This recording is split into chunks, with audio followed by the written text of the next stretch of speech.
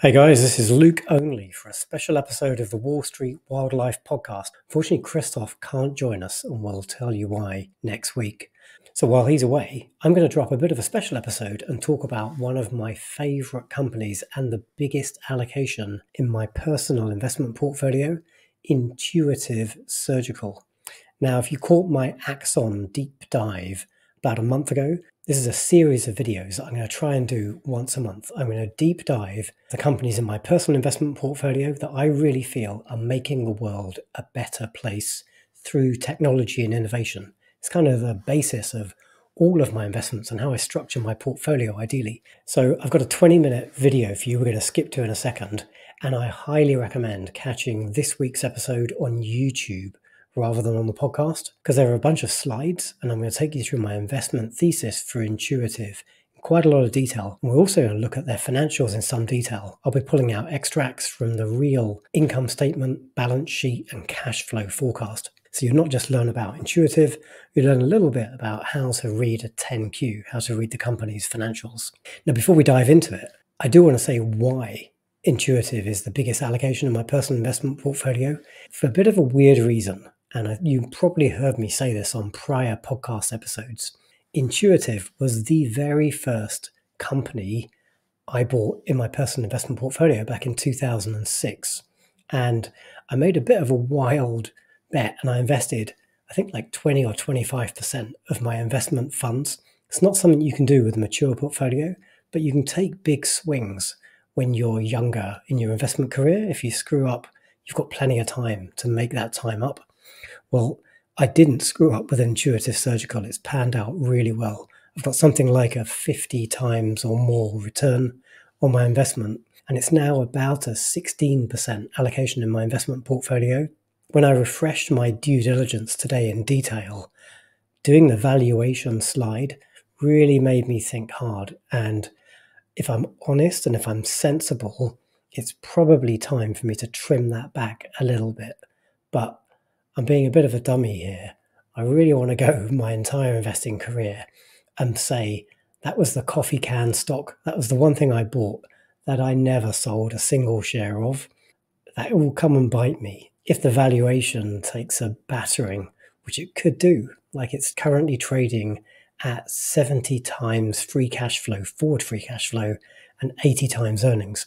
Now, that's not completely out of line it's sort of traded within that range of 50 to 90 times earnings over its, well, at least the last few years. But at 80 times earnings, it's the upper end of that. So I'm probably expecting a bit of a knock if I sit with this one. But I've owned it for 20 years nearly, and I want to own it for the next 20 years. And quite honestly, when you see the competitive edge that this company has, when I get to that slide in the presentation today, like hopefully you will agree with me, it's very likely this company is going to be the robotic surgery leader at the end of this decade. I'd even give them a decent chance of being the leader at the end of the next decade. Anyway, the deep dive's coming up. Check it out. Let me know what you think. As usual, hit me up on the X's. You can find me at 7 Luke Hallard and let me know. Are you a intuitive surgical bull bear, something in between? Or maybe this sector just doesn't interest you. I've got a bunch of other stocks I'll be deep diving in the same way in future months. So if you've got something in my portfolio, go check my pinned tweet on X, pinned post, pinned tweet, yeah, whatever you're supposed to call those things. And uh, that's my full portfolio. I'll be refreshing it today. And if there's a stock in there you'd like to hear more about, let me know and I'll maybe bump it up my list of priorities to deep dive. Okay, I hope you enjoy. Hi, I'm Luke Hallard, and today we're diving into Intuitive Surgical, a company that's a pioneer in the field of robotic assisted, minimally invasive surgery. Why do you want to stick around for this video? Because we're not just talking about the company, we're going to unlock a comprehensive understanding of exactly what makes Intuitive Surgical tick and how it's shaping a better future for all of us through technology and innovation. My goal today is to equip you with the knowledge to assess why intuitive surgical might be the right or wrong investment for your portfolio. So, you're ready to dive in and learn what makes intuitive surgical a potential healthcare game changer let's get started. Here's what we're going to talk about today. I'm going to give you a rundown on what the company actually does. We'll talk about how they're creating a better tomorrow.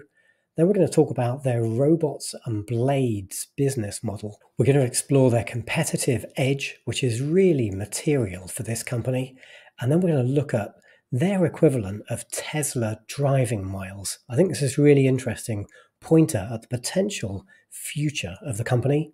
Of course, we're going to explore the financials in some detail. We're going to go through their cash flow statement, the balance sheet, and the income statement, and I'll pull out some key numbers for investors to be aware of.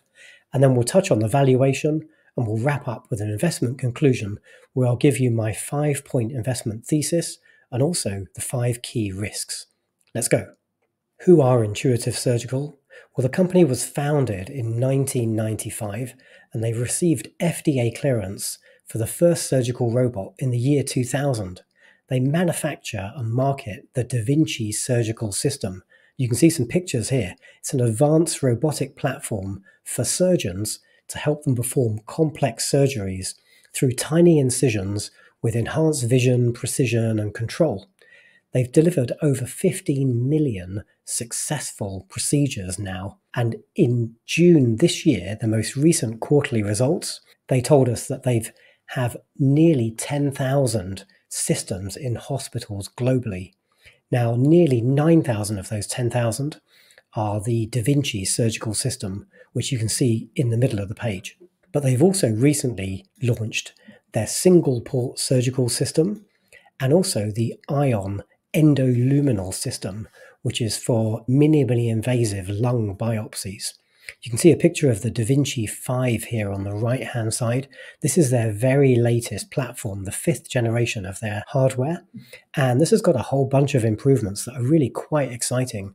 One of the most interesting additions to Da Vinci 5 is force feedback.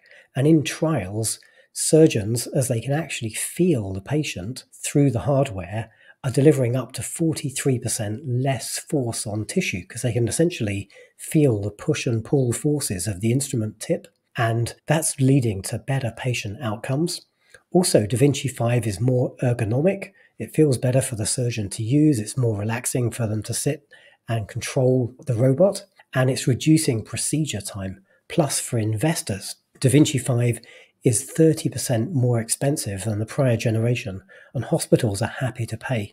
I've actually had a conversation with a surgeon who's a user of Da Vinci 5, and they're really excited about the force feedback, but also the fact that the tower, one part of the Da Vinci 5 setup, can be used standalone for other kinds of laparoscopic procedures, and that could simplify a hospital's setup in the operating theatre Plus, if the surgeon wants a second opinion from a colleague during a procedure, they can send a link to a partner who can pull up a direct feed from Da Vinci 5 and actually give feedback and communicate with the surgeon during the procedure. This is really exciting innovation. How is Intuitive Surgical creating a better tomorrow? Well, we talked just now about laparoscopic surgery, which has been around for decades. And this is where surgeons make a small keyhole surgery incision and then they insert instruments and a camera and they perform surgery. And that's great for patients because there's less trauma and complications and also faster recovery times. But robotic surgery goes one step further as well.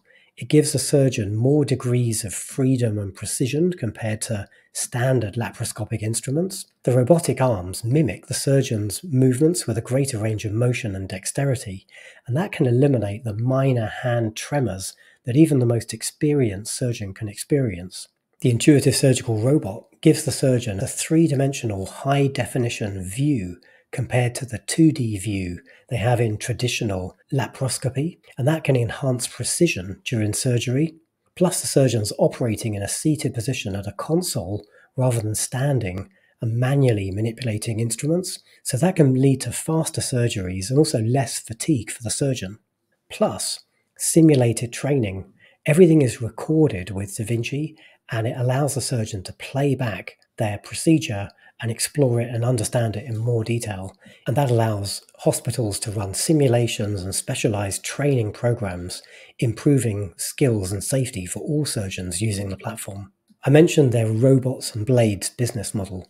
You've heard of the razor and blades business model, where companies like Gillette have sold the razor almost cost price, and then they make their money on the blades. Same with printers and ink. Well, it's the same with Intuitive Surgical. When they sell one of their robotic surgery platforms, they make a huge amount of their revenue actually from the consumables, the actual instruments that have to be reused for every couple of surgeries that are performed. To give you a sense of the scale of this, over 1,600 systems were placed last year, 2023, and over 2 million procedures were performed using Da Vinci. Well, that led to revenue in the last quarter of over $2 billion, up 14% year over year. And 83% of those revenues were recurring from sales of instruments and accessories for the procedures, also for service contracts, and also operational leases, because some customers, some hospitals, lease rather than buying their robotic surgery platforms. Let's talk about Intuitive Surgical's competitive edge because they have a really significant lead over competition and it's really hard for competition to catch up. For one, they've been in this market for nearly 30 years and they're now on the fifth generation of hardware, so they've learned a ton over that period. They've indeed performed over 15 million procedures since inception. This is also a highly regulated industry, and Intuitive have regulatory clearances in over 70 countries, which enables broad adoption globally. And that's going to be really hard for competitors to replicate quickly in such a highly regulated industry as healthcare. There's a massive installed base, and that gives Intuitive Surgical scale and an entrenched customer base because hospitals have made a significant capital investment in the platform and they're unlikely to change. Plus, they're unlikely to change because they have such a huge number of trained surgeons. Over 66,000 surgeons now trained worldwide, which creates a lot of stickiness in the user base. Plus, training is needed ongoing as new procedures and techniques are developed. And so the company has over 49,000 hours of virtual reality training that were logged by surgeons just last year. Of course, the company has a very strong patent and an intellectual property portfolio, over 4,000 patents granted and several thousand more pending, which protects their innovations from being copied. Plus, they're maintaining their significant lead over competition by investing significant numbers in R&D, nearly a billion dollars annually in research and development just last year. And that's going to help the company maintain its lead, make them very hard to catch Plus, they just have a very strong brand, really well known globally as the leading robotic surgery platform. Now, let's relate how Intuitive Surgical are operating to Tesla.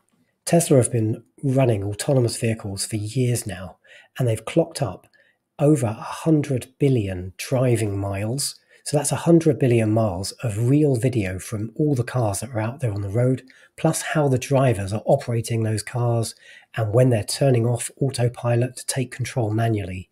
Tesla are learning a lot, and that's feeding into training for their latest versions of full self driving. Well, I think this is actually very similar to the way Intuitive Surgical operating.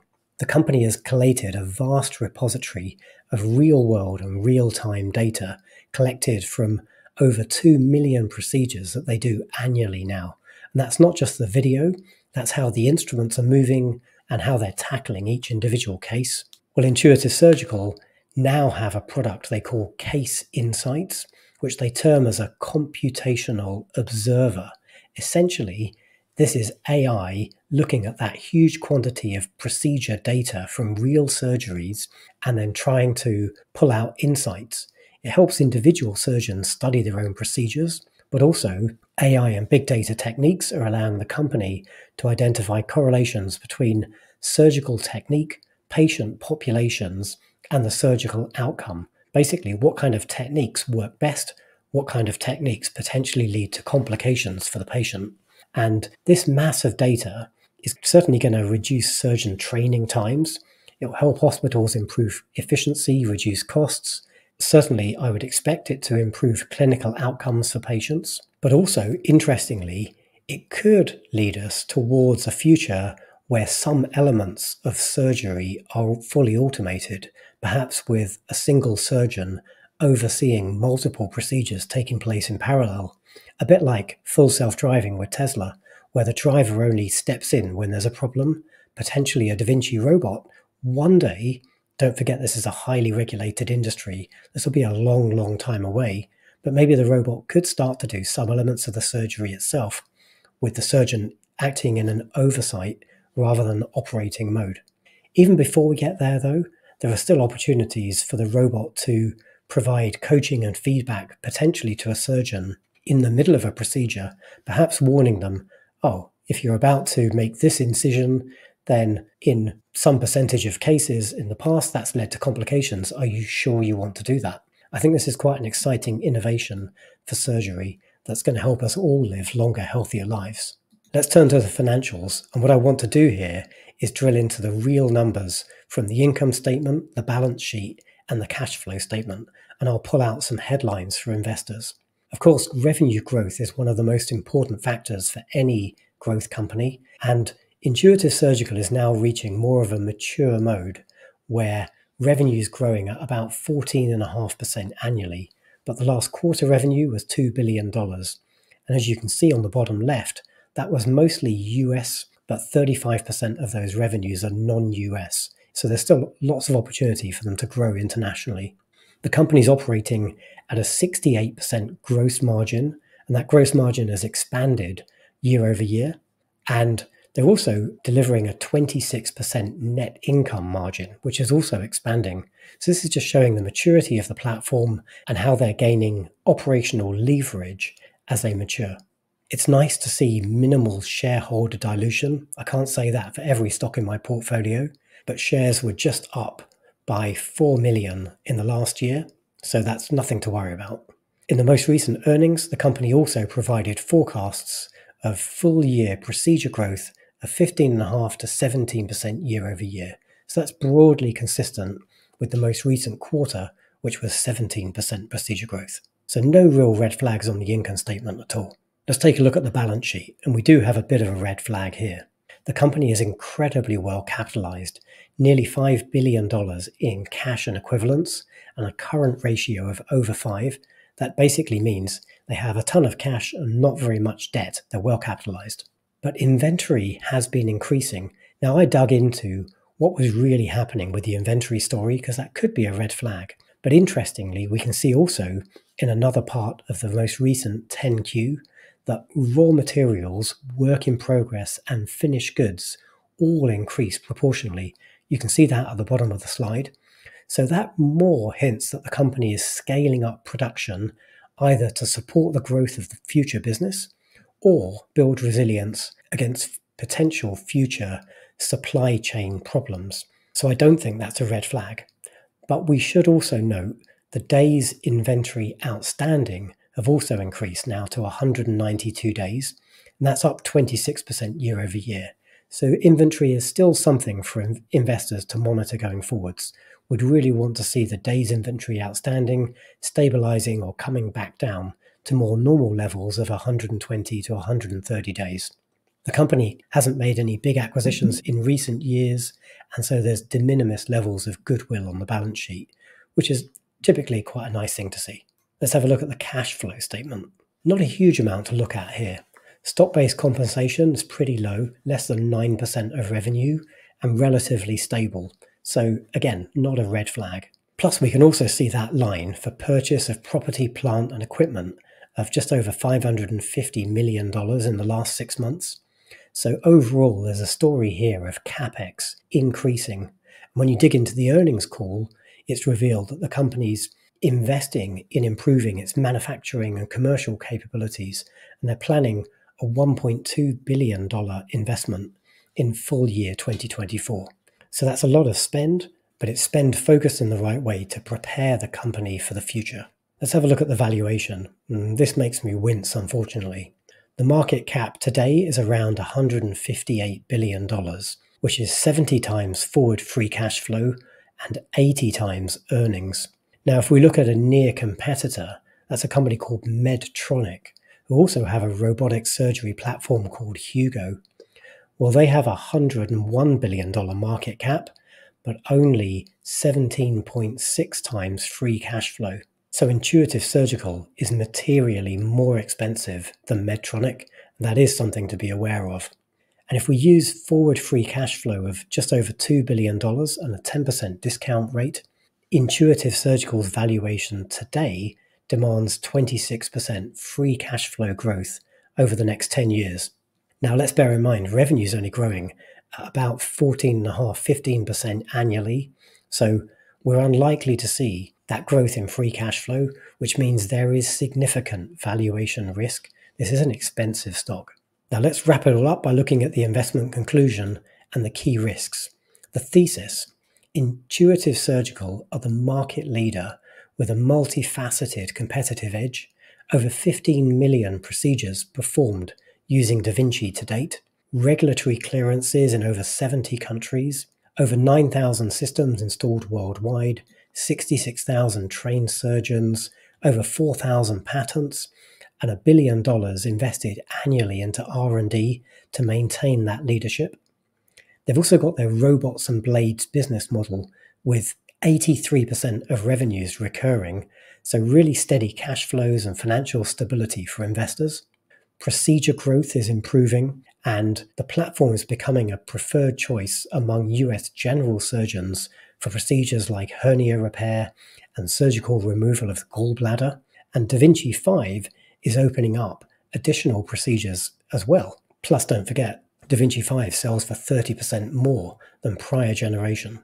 The company has a fortress balance sheet and really strong financials $4.7 billion in cash and short term investments at a current ratio of over 5, so very little debt. Plus, we've got those Tesla driving miles. That vast quantity of procedure data enables the company to use AI techniques to improve patient outcomes and potentially one day in the very far future, perhaps automate some elements of robotic surgery. But of course, a ton of risks. Chief amongst them is valuation. This is an expensive stock, and the valuation will take a hit if procedure growth stalls or if investment sentiment weakens. Competition is coming. Medtronic Hugo is a close competitor, and it's also cheaper. But then, when has cost ever really been a major factor in US healthcare, at least? But not just Medtronic, we also need to be aware as investors about the many alternative systems that are now operating in China. And they might be able to scale more rapidly than Intuitive because it's just a less stringent regulatory regime there for healthcare.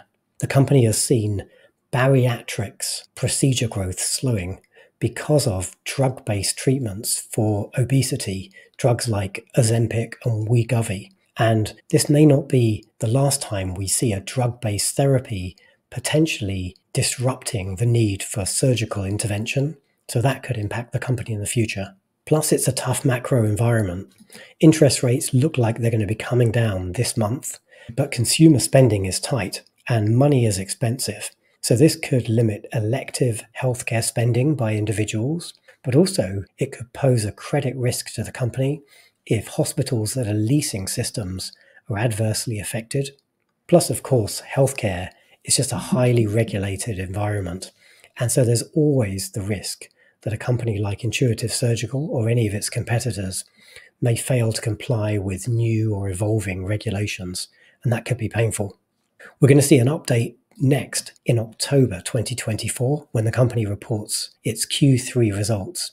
And the two metrics that I generally track for this company are procedure growth and also the volume of deployed systems, because together those two numbers drive recurring revenues. Don't forget that robots and blades business model. And it's the recurring revenues that are really the juicy part of the story here for investors. Okay, let's wrap it all up. I hope you enjoyed my deep dive on Intuitive Surgical. You'll be able to find the full slides on my Twitter. You can find me at 7 Luke Hallard. And if you've got questions about today's content or there's something more you'd like to know, I'd love to hear your questions. Tell me what you're curious about. And let's engage in a lively discussion. If you found this video enlightening, please help me spread knowledge by reposting a link to your own feed. Sharing these insights will help us build a community of informed investors, and your support means a lot. Thanks for watching, and good luck in your own hunt for those elusive but fantastic companies that are not just great investments, they're also building a better tomorrow.